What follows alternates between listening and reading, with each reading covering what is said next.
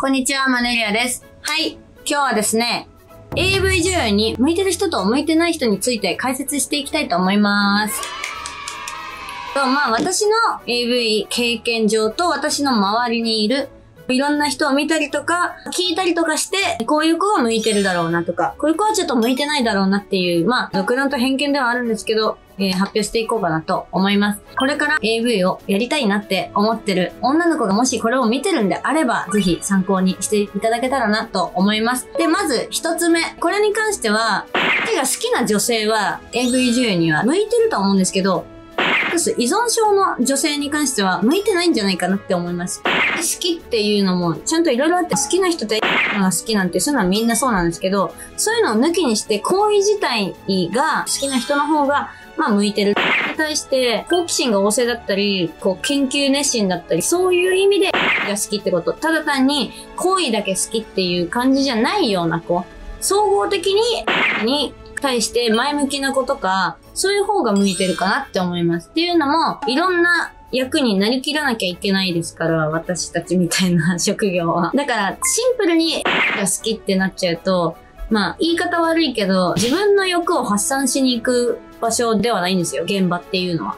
例えば私だったら、アレルギーだから、ぶっかけもできませんとか、そういう筋が通ってるような言い訳じゃない、自分がやりたい性癖だけやりたいみたいな、そういうジャンルしか出たくありませんみたいな女優さんは向いてないかなっていうのが一つですね。幅広くいろんなことをやこなさなきゃいけないんで、こう、研究熱心だったりとか、ついてとか、性について好奇心がある子だったりとか、私もやったけど現役時代に事務所の人に他の人の作品見ろって言われて山ほど見ましたけど、そういうのを、まあ、見て吸収できる子の方が伸びるかなっていうか、向いてるかなと思いまして、次に、2個目3個目に似てるんですけど、だから同時に言うと、まあ、性格がいい子と天狗にならない子、これは向いてるかなって思いますね。っていうのも、これは似てるんで同時に言っちゃうんですけど、まあ、性格がいい悪いっていうのは、仕事上で性格良くしてればいいっていうか、裏の顔っていうかさ、プライベートのがどうっていうのは正直あんまり関係ないって思ってて、まあもちろん悪いよりいいに越したことはないんですけど、現場での性格の良さとか、そういうのってすごく大事で、まあっていうのも天狗につながるんですけど、現場ってもう女優さんをお姫様のように扱うんですよ。みんなして、本当に。水って言ったら 水持ってきてくれるし、お菓子食べたい、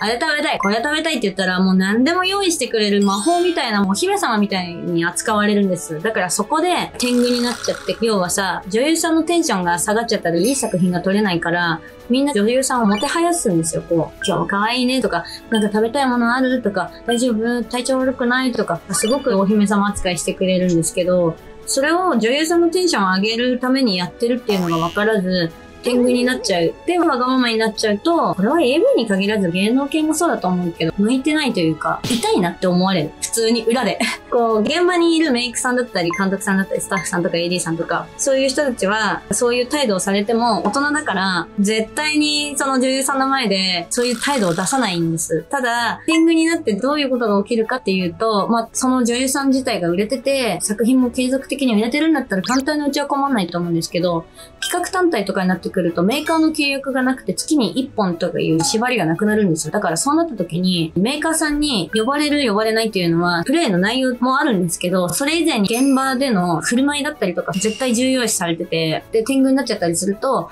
次に同じメーカーさんから呼ばれなくなるんですよ。自分がどんなに AV に出たいと思っても、作品出たいと思っても、呼んでもらえるメーカーさんがなかったら、自分がどんなにやりたくてもできないっていう仕事でもあるから、天狗になったりとかそういう性格が悪いみたいな女の子は、まあ向いてないんじゃないかなって思う。ちゃんと挨拶したり、謙虚な気持ちでできる子の方が向いてるんじゃないかなって思います。次は、これは当たり前なんですけど、時間がちゃんと守れる子。30分とか1時間とか、予想を反する大幅な遅刻を毎回するような子っていうのは、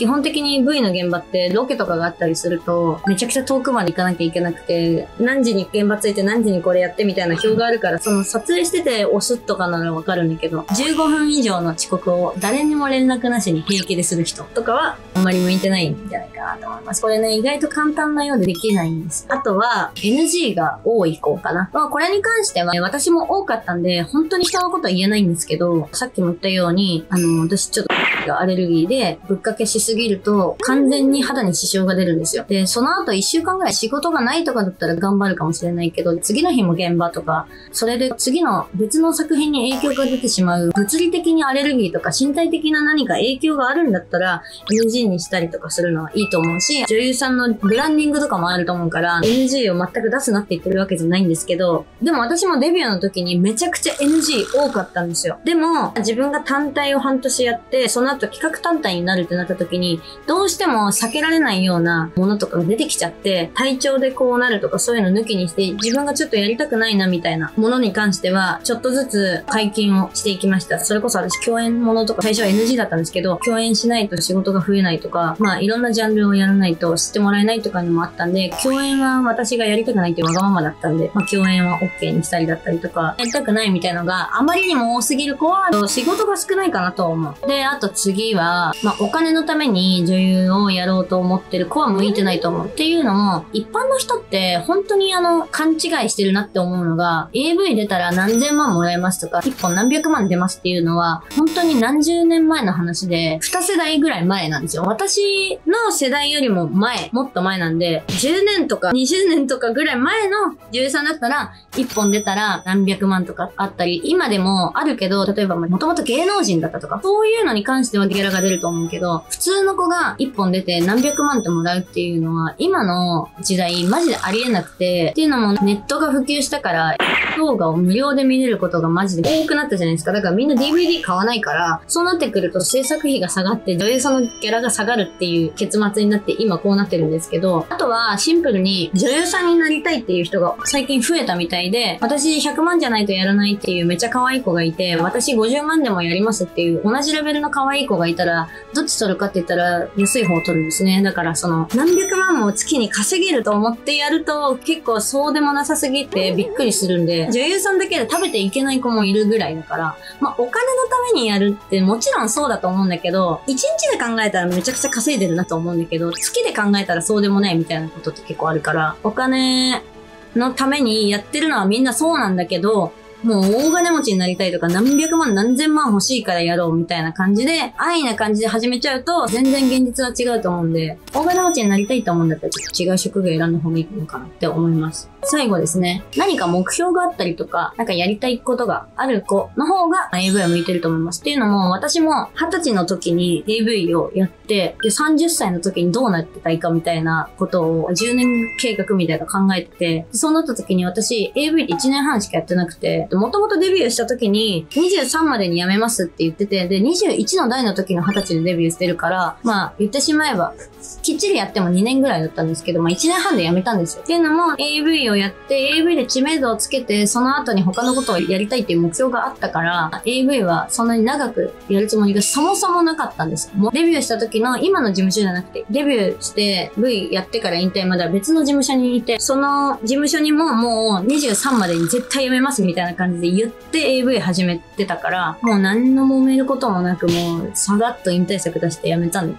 ですけど、AV ってちょっと特殊な仕事じゃないですか。だから一生映像に残るし、8年辞めたい。今でもね、AV 女優だって街中で叫ばれるとか、リスクはやっぱついてくるんですよ。そうなってくると、だらだらずっとやれる仕事でもなくて、特に目標もないままやっちゃうと、頑張り方を見出せなくなっちゃったりとかって、結構現場もハードだから一日中したりとかもしなきゃいけないし、体力もやっぱ30、40になってこの仕事ずっとやるっていうのは結構無理があるなって思うんで、まあ、何か目標があったりとかやりたいことがあるこの方が、その通過点として AV はやった方がいいかなって最近思うね、特に。やっぱり体力勝負の仕事だから、特に目標もなく女優さんをやるのは、向いてる向いてないとかっていう以前に多分しんどいだけだから、何か目標があった子の方が向いてるのかなとは思います。っていう感じですかね。最後言えるとするんだったら、まあ、のメンタルが強い子ですね。それが一番向いてると思います。っていうのも、偏見はまだまだあるから、いろいろ言われるし、AV で売れたら AV 女優だって街で叫ばれるし、結婚とか恋愛とかにも支障出るから、一回やっちゃうとね、で、売れちゃったりすると余計そうだから、それでもやらなきゃよかったって私は思ってないし、AV やってなんかこう、やまないような強いメンタルがある子の方が、最終的には向いてるんじゃないかなって思います。ということで AV 女優向いてる子、向いてない子の話をしたんですけど、まあ AV 男優は私、